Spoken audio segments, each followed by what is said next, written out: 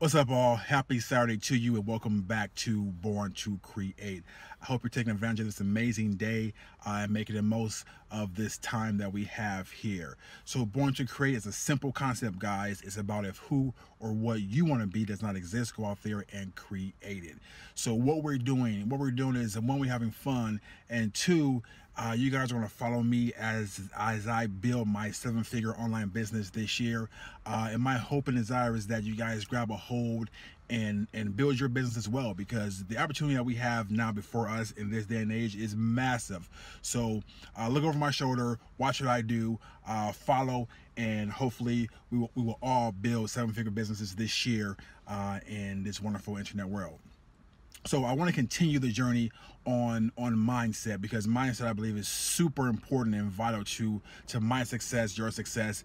Um, but today I want to discuss failure.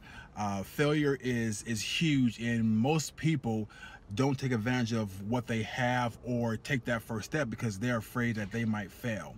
Now, in my opinion, is is you have to fail as fast as possible because when you fail, you learn. I live by the win or learn model. I win or I learn. I never I never lose. It's not win lose for me. So if I try something and I fail, for me it's not a, a, a loss. I learn from it and I take what I learned to, to better my experiences and to help me uh, do bigger and better things. Failure is something that you can't avoid. If you have this big idea, so say you, you your goal is to build a seven figure business, uh, but you're afraid. You're afraid that if you do it, you're gonna fail.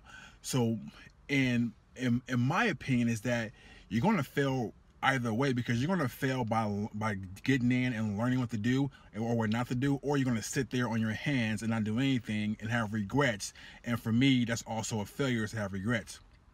So get in and make it happen because when you hop in and you dig in and you learn and you fail, you learn something from that failure. So take what you learn and implement it back into your business, and that will push you to the next level. I can't tell you how many times I failed in business. Um, I've, I've operated maybe 10 different businesses uh, before my first success. My first success was in real estate. Uh, when I got into that business, I even failed creating that business but i finally i finally made i finally got to a point where i made money in that business. But before then i failed. Before then i lost money. Uh, before then i had to I had to work on marketing. And i had to work on brand building and exposure. Uh, but i failed so many times at doing that. But i want to encourage you to be consistent and keep going. There's nothing like um, having having your dream come true once you once you pass all that all those failures once you've done all you can um, and you failed but it finally came to fruition. When you're in business when you're building this empire there are going to be failures. There are going to be disappointments. There are going to be times where you want to give up. Now if you if you ever get to a point in your business that you don't want to give up you have not worked hard enough. So work so hard and get so frustrated that you want to give up after that, push some more, do some more. But know that that failure is not a prerequisite for success. However, failure will be a part of your journey. So get in, fail fast, fail more, because the more you fail, the more you learn. So this journey on entrepreneurship, this journey to build a seven-figure business is about learning and you learn when you fail. Now, to to have that learning curve shrink as far as learning about business and, and e-com and seven your companies you have to you have to read. Now i'm not saying go out there and just just dive in and fail without any guidance or education. You have to get educated. You have to learn. You have to read. So throughout this this show, I want to introduce concept strategies, books, books, tools, mentors that have helped me get to where I am, and it's helped it's helped me right now. So by no means, again, am I saying jump in head first without any type of any type of goals or guidance or education. You will quickly learn that building a business is scary. Okay, it's scary because you are 100% in control of your destiny, which can be a good thing or a bad thing. Don't let fear keep you from taking action. If you do, you will regret not taking action uh, in the future. Just know that you have to get up, take action, and act despite of fear. I believe that no one is absent of fear, but the ones who are successful, they have that fear and they act despite the fear. They have that fear and they perform anyway. And a mentor of mine told me a long time ago that the cure to fear is action. If you're afraid, do it anyway. And once you do it, that fear will, will be cured. So don't let fear keep you crippled, keep you down, and not allow you to act. You have the fear, act anyway. I'll be totally transparent.